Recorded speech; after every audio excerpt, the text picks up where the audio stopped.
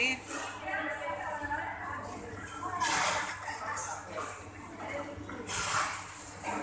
makan yuk. Jam lima kurang 10 tadi jam enam makan.